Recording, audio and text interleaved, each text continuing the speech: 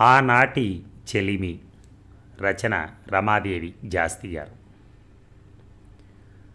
రేపు సాయంత్రం మా అత్తయ్య బావ వస్తున్నారు మన ఇంటికి రెండు రోజులుండి వెళ్తారట. పళ్ళెంలో ఉలవచారు వడ్డిస్తూ చెప్పింది అమృత. ఉలవచారు చూడగానే చప్పున అమ్మ గుర్తుకొచ్చింది నాకు. అమృత కూడా అమ్మలానే అద్భుతంగా చేస్తుంది ఉలవచారు. ఒక్క అదే అనేవిట్లే ఏదైనా సరే చాలా బాగా చేస్తుంది. అందుకే మా పెళ్ళి ఇంకా ఆరు నెలలు కూడా కాకపోయినా నన్ను ఇంటిని కూడా నిశ్చింతగా ఆమె చేతుల్లో పెట్టేసి అమ్మ నాన్న అమెరికా వెళ్ళారు చెల్లాయి డెలివరీ కోసమని. అమృత సమర్థత మీద అంత నమ్మకం కుదిరింది వాళ్ళకి. ఇంట్లోకి ఏమైనా కావాలా? నేను తలెత్తకుండానే ఓ తపస్సులా భోజనం చేస్తూ అడిగాను. నాకు అమృత మీదనే ఆసక్తి లేదు.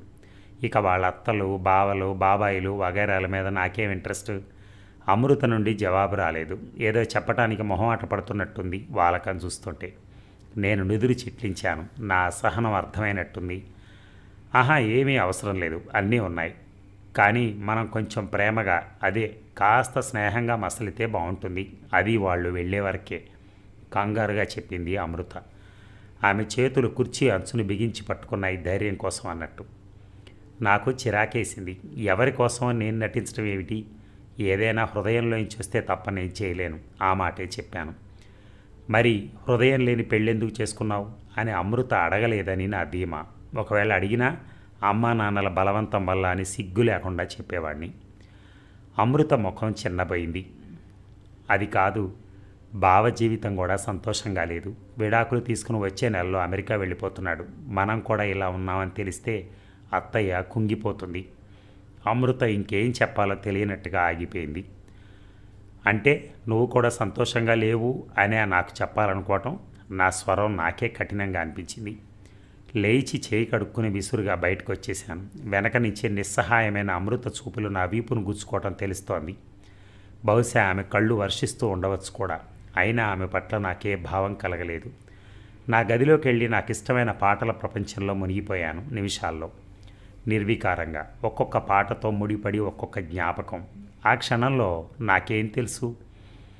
అమృత బావ నా జీవితాన్ని గాడిన పెట్టబోతాడని. మరుసటి రోజు రాత్రి ఇంటికొచ్చిన నాకు వాళ్ళ అత్తయ్యని బావని పరిచయం చేసింది అమృత. వాళ్ళు మా పెళ్ళికి రాలేదట. బావా బావా అంటే ఎవరోలే అనుకున్నా. తీరా చూస్తే అతను ఎవరో కాదు సంజయ్ అని నా హాస్టల్ మేట్. ప్రాణ స్నేహం కాదు కానీ పక్క రూమ్లోనే ఉండేవాడు కాబట్టి మంచి పరిచయమే. నీకు తెలుసా అమ్ము? మీ ఆయన నాకు ముందే తెలుసు. తేజ నేను హాస్టల్లో పక్కపక్క రూముల్లోనే ఉండేవాళ్ళం. తేజ చాలా మంచివాడు అని సంతోషంగా చెప్పాడు సంజయ్. మాకు ముందే పరిచయం ఉండటం అమృతకు తెరిపి కలిగించినట్టయింది. మనిషిలో టెన్షన్ తగ్గి చిరునవ్వు నవ్వింది. వాళ్ళ అత్తయ్య చాలా ఆపేక్షగా చూస్తోంది నా వైపు. కళ్ళ నిండా ప్రేమ వర్షం కురిపిస్తున్న ఈమిడ మరి మా పెళ్ళికెందుకు రానట్లో? ఆ ప్రశ్నకు జవాబు ఆ రాత్రి భోజనాల దగ్గర ఆవిడ వల్లే తెలిసింది నాకు. ఇంత నెయ్యి వేసుకుని కలుపుకున్న గోంగూర పచ్చడి అన్నంలో ఉల్లిపాయ నంజుకు తింటూ హఠాత్తుగా కన్నీళ్ళు పెట్టుకుంది. ఏ అత్తయ్య కారం ఎక్కువైందా? అమృత కంగారుగా అడిగింది. లేదే అమ్మో జీవితాంతం నీ చేతి వంట తినే అదృష్టం నాకు ఇవ్వలేదే ఆ భగవంతుడు. ఎంత ఆశ పెట్టుకున్నాను. నా జీవితం మీ ఇద్దరి చేతుల మీదుగా నిశ్చింతగా వెళ్ళిపోతుందని. సొంత అన్నదమ్ములు అతీగతి పట్టించుకోకుండా మమ్మల్ని అనాథల్లా వదిలేశారు. కానీ చిన్నాన్న కొడుకైనా ఆస్తిపాస్తులు అంతగా లేకపోయినా మీ నాన్నే మా తల్లి బిడ్డల్ని కడుపులో పెట్టుకుని కాపాడి వీడిని ఇంత వాణ్ణి చేశాడు. కానీ మేమేం చేశాం? ఏరు దాటి తెప్ప తెగలేశాం. అన్నయ్య రుణం తీర్చుకోలేకపోయాం. చేసిన పాపం ఊరికే పోతుందా? చచ్చిపోయి ఏ లోకానుందో మీ అమ్మ శపించుండదు. ధర్మరాజు లాంటి మీ నాన్న లో లోపల లోపల క్షోభపడి ఉండడు. అందుకే మీ బావ పెళ్ళి అట్లా పెటాకులైంది. ఆవిడ గట్టు తెగిన వాగైపోయింది. ముగ్గురం శిలల్లా బిగుసుకుపోయాం. హఠాత్తుగా మొదలైన ఈ జడివానకి ముందుగా తేరుకుంది అమృతనే. నేను కూడా ఉండడంతో తను బాగా ఇబ్బంది పడిపోయింది. అవే మాటలత్తయ్య నాన్న ఏదో ఆశించి కాదు కదా మిమ్మల్ని తీసుకొచ్చింది. అక్కా చెల్లెళ్ళు ఎవరూ లేని ఆయన నిన్నే సొంత తోబుట్టుగా భావించారు. భావన కూడా కొడుకులాగే అభిమానించారు. తాను ఎవరిని చేసుకున్నా సంతోషంగా ఉండాలనే మేము మనస్ఫూర్తిగా కోరుకున్నాం. అంతేగాని నాన్న ఈ విషయంలో ఎన్నడూ క్షోభపడలేదు నువ్వు అనుకున్నట్టు అయినా మనసు లేని పెళ్ళి చేసుకుని ఎవరు మాత్రం సుఖపడతారు అత్తయ్య? అమృత గొంతు వణికింది. నాకు తెలుసమ్మా మీవి గొప్ప మనసులు. అందుకే ఆ భగవంతుడు రాజా లాంటి సంబంధాన్ని నీ కోసం మీ నాన్న కాళ్ళ దగ్గరికే పంపించాడు. మా కర్మేమో ఇలా కాలింది. ఆవిడ పవిటి చెంగుతో కళ్ళు ముక్కు తుడుచుకుంటూ అంది. నాకెక్కడో గుచ్చుకుంది. నాది రాజా లాంటి సంబంధమా? సంజయ్ నేను ఒక్క మాట మాట్లాడకుండా శ్రద్ధగా భోజన కార్యక్రమం పూర్తి చేశాం. మా అమ్మ ఏది మనసులో దాచుకోలేదు. ఎప్పుడు ఎక్కడ ఏం మాట్లాడాలో బొత్తిగా తెలియదు అందువలనే ఆమెకి నా భార్యకి సరిపడలేదు. ప్రతిదానికి తనను అమ్ముతో పోల్చడంతో వాళ్ళిద్దరికీ మధ్య దూరం మరీ పెరిగిపోయింది. గదిలోకి వచ్చాక చెప్పాడు సంజయ్ నాతో. అందుకోసమని విడి విడిపోతున్నారా? ఆశ్చర్యంగా అడిగాను. అదొక్కటే కాదులే. నూటొక్క కారణాల్లో అది ఒకటి. అసలు నా అవగాహన ప్రకారం భార్యలు మూడు రకాలు. ఏ రకమైనా సరే పెళ్ళి కాగానే మొదట అమ్మా నాన్నలకి మనకి మధ్య ఒక గోడ కట్టేస్తారు. ఇది మొదటి రకం. వీళ్ళు కాస్త మంచి భార్యలు అన్నమాట. మన కోసం ఒక వాకిలి పెడతారు. అందులోంచి మనకు స్వేచ్ఛగా రాకపోకలు ఉంటాయి రెండో రకం వాళ్ళు. ఉత్త కిటికీ మాత్రమే పెడతారు. అందులోంచి కనీసం ఒకరినొకరు చూసుకునే వీలైనా ఉంటుంది. ఇక మూడో రకం గోడలో ఏమీ ఉండదు. అటు వాళ్ళు ఇటు మనం. అంతే. నా భార్య మూడో రకం. సంజయ్ మంచం మీద వాలుతూ చెప్పాడు. సంజయ్కి నాలుగో రకం గురించి తెలియదల్లే ఉంది పాపం. వీళ్ళు అసలు ఏ గోడలో కట్టరు. అమ్మా నాన్నలు అమెరికా వెళ్తున్నప్పుడు అమృత వెక్కి వెక్కి ఏడవటం అమ్మ కూడా కళ్ళమ్మటి నీళ్ళు పెట్టుకోవటం నాన్న ఓదార్పుగా అమృత తలనిమరటం గుర్తుకొచ్చింది నాకు. నా పెళ్ళి తర్వాత అమ్మ ఇక మామయ్య దగ్గర ఉండనంది. వాళ్ళని ఎంత బతిలాడినా తర్వాత మాతో ఉండనివ్వలేదు నా భార్య. చివరికి వృద్ధాశ్రమంలో చేర్చాను. ఇదిగో అమ్ము పెళ్ళి తర్వాత ఇప్పుడే మళ్ళీ మామయ్య దగ్గరికి రావటం. సంజయ్ ఇంకా చాలా విషయాలు చెప్పాడు ఆ రాత్రి.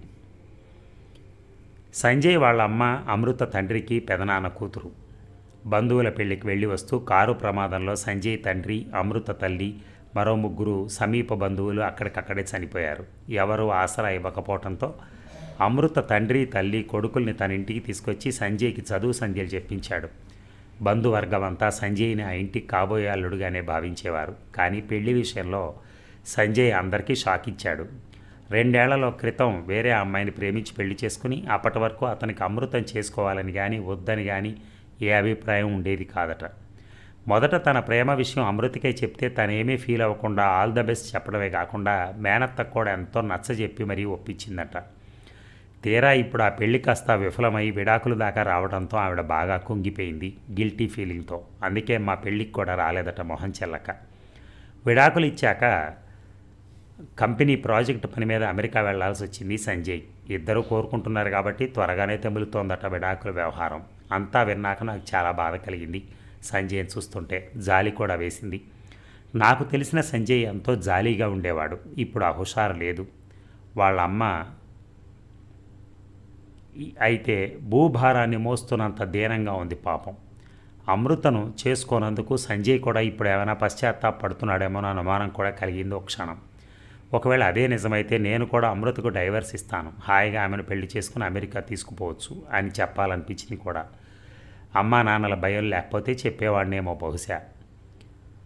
జావళిని చూశాక ప్రేమించకుండా ఉండటం ఎంత కష్టమైందో తీరా పెళ్ళి చేసుకున్నాక కలిసి బతకటం అంతకన్నా ఎక్కువ కష్టమైంది. సంజయ్ పర్సులోని ఫోటో కేసి చూస్తూ దీర్ఘంగా నిట్టూర్చాడు జావళి ఆ పేరు వింటూనే ఉలిక్కిపడ్డాను నేను. అది చాలా అరుదైన పేరు. కొంపదీసి తను నా జావళి కాదు కదా. ఒకసారి నేను ఆ ఫోటో చూడొచ్చా? నా గొంతులో వణుకును బయటపడనీయకుండా అడిగాను. సంజయ్ ఫోటో తీసి నాకు అందించాడు. దడదడా కొట్టుకుంటున్న గుండెలతో ఆ ఫోటోను అందుకుని చూశాను. నేను భయపడిందంతా అయింది. ఫోటోలో నవ్వుతున్నది జావళీయే. ఫుల్ మేకప్తో చాలా స్టైలిష్గా మోడలింగ్ చేసే అమ్మాయిలా ఉంది. నాలోని కంపనలను అణుచుకుని మామూలుగా ఉండేందుకు ప్రయత్నిస్తూ ఆ ఫోటోను తిరిగి సంజయ్కి ఇచ్చాను చాలా బాగుంది అంటూ. అవును చాలానే బాగుంటుంది. తాను అందమైన దాన్నని తనకు బాగా తెలుసు. ఆ విషయం తను మర్చిపోదు. ఎదుటి వాళ్ళని మర్చిపోనివ్వదు. అవతలి వాడు ఎవడైనా సరే తన ఆకర్షణలో పడి తేనెలో పడ్డ ఈగలాగా కొట్టుకుంటూ ఉంటే అదొక ఆనందం. అలా ఊరిస్తూ తనకు కావాల్సిందాన్ని సాధించుకుంటుంది. అలాంటి స్వభావం ఉన్న స్త్రీలు పెళ్ళి చేసుకోకూడదు అసలు. అలా నలుగురిని చుట్టూ తిప్పుకుంటూ ఆకాశానికి నిచ్చెనలేసుకుని ఎక్కేస్తూ జీవితం గడిపేయాలి. జావళిని ఫ్రెండ్లా వదులుకోలేం. భార్యగా తట్టుకోలేం.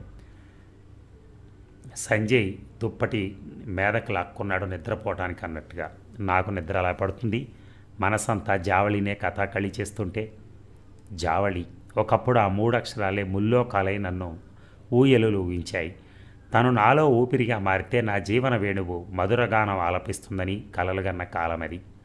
ఆ జావళి ఈనాటి జాన కాదు ఇన్ని రంగులు తెలియవు. అప్పుడు తను హిమతుషారం వెలుగుల్లో రేకులు విప్పుకుంటున్న లేత మొగ్గ. తనకి చెల్లాయితో చాలా స్నేహం. తనని చూసిన తొలి క్షణం నుంచే నాకు తనపై మోహం మనసులో మోహన రాగం. నేనేమీ అంత చొరవైన వాడిని ధైర్యస్తుణ్ణి కాదు కాబట్టి మూగగా ఆరాధిస్తుండేవాడిని ఒక అబ్బాయి కళ్ళల్లో తన పట్ల కనపడే ఇష్టాన్ని అమ్మాయిలు అతి సులభంగా గుర్తుపట్టగలరనుకుంటా. అందుకే జావళికి నేను అర్థమైనట్టున్నాను. అప్పట్లో పీజీ పూర్తి చేసి సివిల్స్కి ప్రిపేర్ అవుతున్న నా దగ్గర చెల్లాయితో పాటు తను లెక్కలు ఇంగ్లీషు చెప్పించుకునేది. చెల్లాయి కూడా పక్కనే ఉండేది కాబట్టి ఎవరికీ మా మోగ ప్రేమ మీద సందేహం కలిగింది కాదు. జావళి ముగ్ధలా ఉంటే నేను ముద్దపప్పులా ఉండేవాడిని నా స్వభావ సిద్ధమైన మిడియము మొహమాటాల వల్ల నా బెరుకుని బయట జావళినే మొదట జావళినే బ్రేక్ చేసింది ఆ రోజు. చెల్లాయి పైన ఉందనుకుని లేడిలా పరుగు తీస్తూ పైకొస్తున్న జావళి గచ్చు నేల మీద వర్షపు తడికి జారబోతుంటే చటుక్కన నడుం పట్టుకుని ఆపాను. ఆమె జుట్టులోంచి కుంకుళ్ళ వాసన జడలోని జాజుల వాసన చెంపలపైన పౌడర్ వాసన మెడ కింద రాసుకున్న మంచి గంధపు వాసన. అన్నీ కలగలుపుకున్న ఆమె శరీరం పరిమళం వింతగా ఉండి నన్ను వివసుండి చేసింది. ఒక్క నిమిషం జావళి అలాగే నిలబడిపోయింది. నా ముఖంలోకి చూస్తూ తర్వాత కళ్ళు వాల్చి అంది. అమ్మాయిల్ని ఎక్కడ పడితే అక్కడ పట్టుకుంటే షాక్ కొడుతుందమ్మా.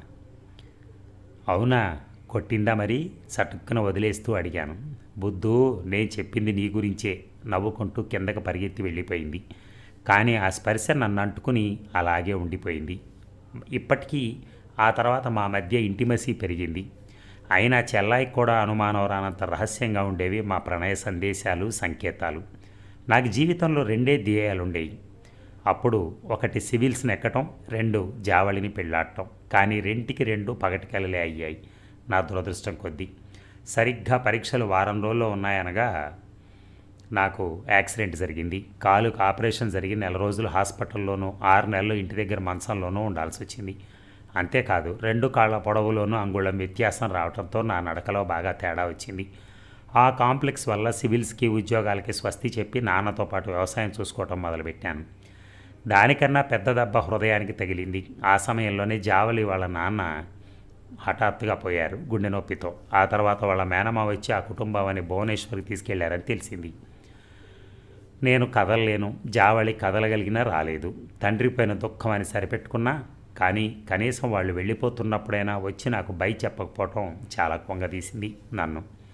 మౌనంగానే రోధించాను లోపల లోపల. వెళ్ళాక జావళి రెండు మూడు సార్లు మాత్రమే ఫోన్ చేసింది చెల్లాయికి. ఆ తర్వాత అది లేదు.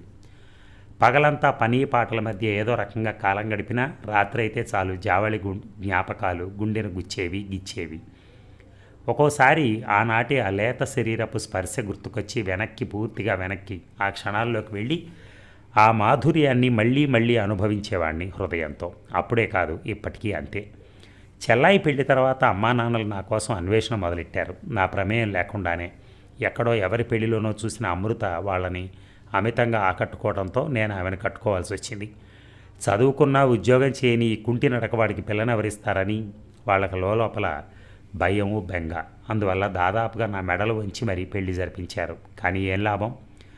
గదిలోకి వచ్చిన అమృత నా మదిలోకి రాలేకపోయింది. అది ఖాళీగా లేకపోవడంతో అయినా తను గుంభనంగానే ఉంది. తను ఏమీ చెప్పకపోయినా అమ్మ వాళ్ళు గ్రహించారా ఉంది మా విషయం. మా ఇద్దరిని ఒంటరిగా వదిలేస్తే దగ్గర అవుతామని వాళ్ళు దూరంగా వెళ్ళినట్టున్నారు చెల్లాయి వంక పెట్టుకుని. అమృత మాత్రం ఇంటి నిర్వహణ అంతా తలకెత్తుకుని ఇంటా బయట వాళ్ళు లేని లోటు తెలియకుండా సమర్థంగా నడుపుకొస్తోంది. నాకు నిశ్చింతగానే గడిచిపోతోంది. మా మధ్య దూరం గురించి తనేమీ బయటపడకపోవడంతో. ఇదిగో ఇంతకాలానికి జావళి గురించి ఇలా వినవలసి రావటం మనసంతా చేదనింపింది. అయ్యో జావళి నా అందాల బొమ్మ. చచ్చ తప్పు కదూ నేను ఇట్లా అనుకోవటం? తనిప్పుడు పరదార. విడాకులు ఇచ్చినా సరే హృదయంలోంచి ఆ బొమ్మను చెరిపేయాల్సిందే. అదే న్యాయం. మూసిన నా కళ్ళలోంచి రెండు నీటి బొట్లు. అమృతను పోగొట్టుకోవటం తమది ఎంతో దురదృష్టమో వాళ్ళ అత్తయ్య గంటకోసారి బాధపడుతూ చెప్తూనే ఉంది. వాళ్ళు వెళ్ళే వరకు. సంజయ్ వారించినా కోప్పడినా పట్టించుకునే లేదు ఆమె ధోరణి ఆమెదే. ఆమెనేమి అనలేక నా ముందు తలెత్తలేక అమృత బాగా ఇబ్బంది పడిపోయింది. పాపం నేనెక్కడ అబార్థం చేసుకుంటాను అని భయపడుతుందల్లే ఉంది.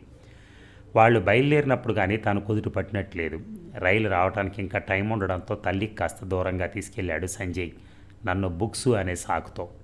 తేజ నీకు జావళి తెలుసని నాకు తెలుసు అన్నాడు ఉపోద్ఘాతంగా. ఉలిక్కిపడ్డాను నేను. వాళ్ళు మా ఇంటి పక్కన ఉండేవాళ్ళు వాళ్ళ నాన్నగారు ఇక్కడ పనిచేసినప్పుడు ఆయన పోయాక మా ఇంటి పక్కన ఉండేవాళ్ళు వాళ్ళ నాన్నగారు ఇక్కడ పనిచేసినప్పుడు ఆయన పోయాక వాళ్ళ మామయ్యతో భువనేశ్వరి వెళ్ళిపోయారు. తను చెల్లాయి దగ్గరికి వచ్చేది చదువుకునేందుకు. నేను తేలిగ్గా చెప్పడానికి ప్రయత్నించాను. అయినా నాలో ఏదో అలజడి. అమ్మకి అమ్ము పంపించిన పెళ్ళి మీ పెళ్ళి పెళ్ళి ఫోటో చూసి జావళి గర్వంగా చెప్పింది నాతో.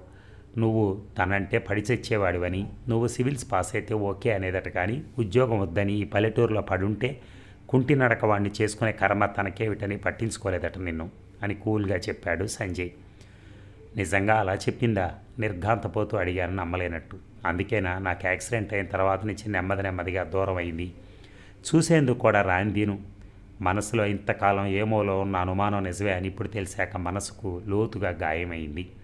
తేజ నేను ఒక్క మాట కూడా అబద్ధం చెప్పలేదు. తొలి ప్రేమ ఎవరికైనా మధురమే కానీ అది ఫలించకపోతే దానిని మనసులో పెట్టుకుని గతంలో జీవిస్తూ వర్తమానాన్ని వచ్చిన వేరొకరి జీవితాన్ని కూడా బలి చేయటం అనేది తెలివైన పని కాదు. అమ్మో ఏం చెప్పకపోయినా నాకు అర్థమైంది. నువ్వు తనను సరిగా రిసీవ్ చేసుకోలేదని. జావళి గురించి వింటున్నప్పుడు నీలోని సంచలనం చూశాక కారణం తెలిసింది. పెళ్ళంటేనే లాటరీ లాంటిది. వచ్చిన తర్వాత కానీ తెలియదు. వచ్చిన వాళ్ళు వెలిగిచ్చే దీపం అవుతారో లేక మన పాలిట శాపం అవుతారో? తేజ దయచేసి నువ్వు మాత్రం అమ్ము లాంటి ఉత్తమరాలికి శాపం అవ్వకు. ఇది నా ప్రార్థన అనుకో. నీ నిండు జీవితాన్ని నైవేద్యంగా పెట్టాల్సినంత అర్హత కలిగిన వ్యక్తి కాదు జావళి. సంజయ్ చెమర్చిన కళ్ళతో నా చేతులు పట్టుకున్నాడు. కదిలిపోయాను నేను. చాచా లేదు సంజయ్ మళ్ళీ సంవత్సరం మేమిద్దరం కలిసి నీ దగ్గరికి అంటే అమెరికా వస్తాం సరేనా? అని చిరునవ్వుతో చెప్పాను. తేజ నీకు విషయం చెప్పనా? నాకిట్లా అమెరికా వెళ్ళే ఛాన్స్ వచ్చిందని తెలిస్తే జావళి వెంటనే డైవర్స్ క్యాన్సిల్ చేసుకుని నాతో వస్తానంటుంది తెలుసా? అందుకే నేను ఈ విషయం తనకు చెప్పలేదు. సంజయ్ నవ్వాడు విషాదంగా. ఏం చెప్పాలో అర్థం కాక చూస్తున్న నన్ను రక్షిస్తూ దూరంగా రైలు కూత వినిపించింది. బాబు పెద్దదాన్ని చాదస్తం కొద్దీ మళ్ళీ మళ్ళీ చెప్తున్నా రాయిని రత్నంగా భ్రమపడి నా కొడుకు జీవితాన్ని పాడు చేసుకున్నాడు. నువ్వు రత్నాన్ని రాయిగా విసిరేసి నీ బ్రతుకు మాత్రం పాడు చేసుకోకు. అమ్మోని కళ్ళల్లో పెట్టుకుని చూసుకో. నీ నట్టింట దీపమే వెలుగుతుంది అని రైలు కదులుతుండగా చెప్పింది సంజయ్ వాళ్ళమ్మ కళ్ళు తుడుచుకుంటూ. నేను బుద్ధిగా తల ఊపాను.